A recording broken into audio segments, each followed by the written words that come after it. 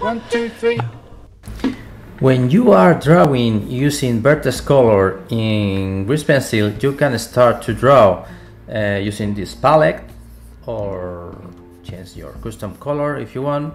And you have this tool, this tint tool, you can start to tint your strokes.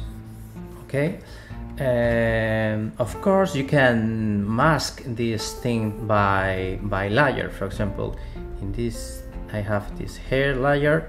So let me uh, unlock this layer and now I only paint in this layer.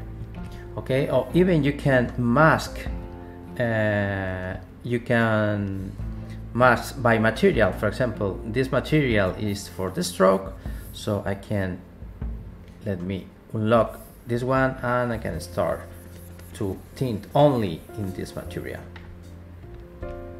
Okay so uh, a part of this of this tool you have a specific mode for Vertex Paint here in Vertex Paint you have a specific mode for that.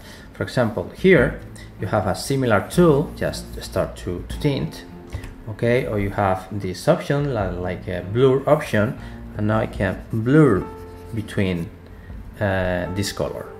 Okay another interesting option here is like uh, right now if I start to draw this this this tint is only affected to the first frame.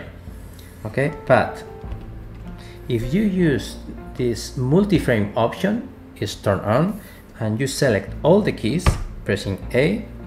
Now if I made this for example okay and now this is applied for the whole animation. Because you are using multi-frame option this is really really handy. Okay? One, two, three.